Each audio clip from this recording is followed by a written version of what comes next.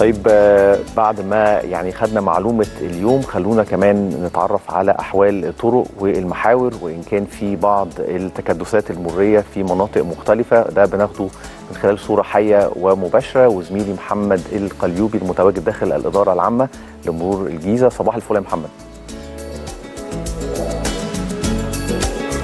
صباح الخير يا جاد. صباح الخير على كل مشاهدي قناة صدى البلد. بالفعل إحنا في الإدارة العامة لمرور الجيزة عشان نعرف الحالة المرورية في الشوارع والميادين الرئيسية والطرق الرئيسية في محافظة الجيزة. يمكن النهاردة آه، هنبدأ جولتنا المرورية بإخطار عن إغلاق طريق اسكندرية الصحراوي آه، اتجاه لرايح ميدان الرماية عشان آه، تسليم المرحلة الثانية لمترو الأنفاق الخط الرابع. وزي ما إحنا عارفين إنه الخط الرابع ده موجود آه، في جزء منه قدام المتحف المصري الكبير فبالتالي تم إغلاق الجزء اللي جاي من طريق اسكندرية الصحراوي متجه لميدان الرماية.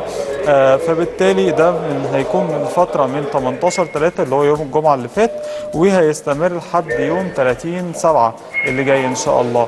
فاللي حابب يطلع على طريق اسكندرية الصحراوي ممكن يبدأ ياخد طريق الدائري الاتجاه اللي رايح المنصورية وينزل على من المنصورية لشوارع آه، فيصل وبعد كده يقدر يكمل على طريق اسكندرية الصحراوي. ده يمكن يعني اللي حابب عايز يعرف الحالة المرورية في آه، منطقة اسكندرية الصحراوي وأمام المتحف المصري الكبير.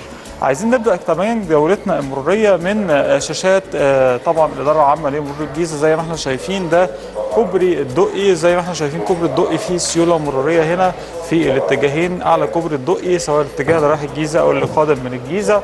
وأيضا شارع التحرير الاتجاه اللي رايح لميدان الدقي برضه فيه سيولة مرورية. قادم من ميدان الدقي ورايح على آه، مناطق شارع السودان برضه فيه سيولة مرورية كويسة جدا.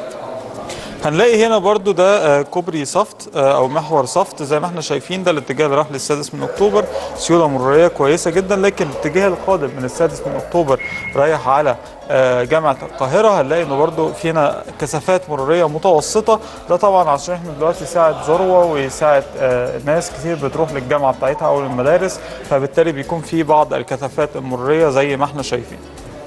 هننتقل لكاميرا أخرى وده ميدان الحصري ميدان الحصري زي ما إحنا شايفين برضو في سيوله مرورية في كافة الاتجاهات اللي راح للمنطقة الصناعية أو راح لمحور 26 يوليو.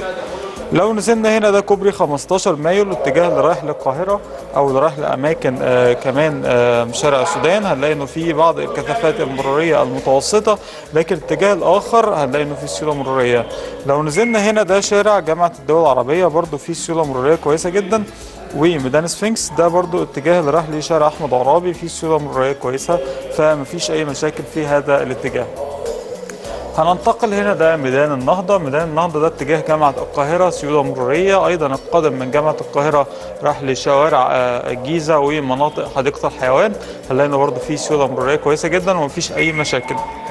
لو نزلنا هنا ده ميدان الجلاء ميدان الجلاء الميدان المؤدي لشارع مجلس الدولة وأيضا لشوارع الدقي برضه في سيولة مرورية في كافة الاتجاهات آه، حوالين ميدان الجلاء ومفيش أي مشاكل سواء اللي داخل أو اللي خارج للميدان.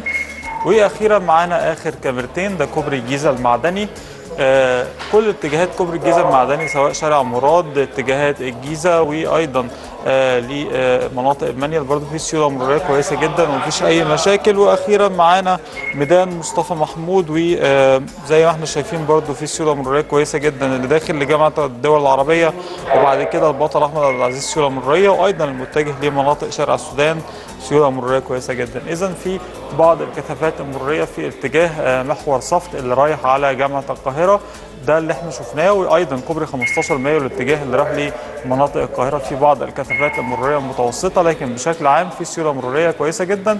وفي الأخير بنتمنى السلامة للجميع.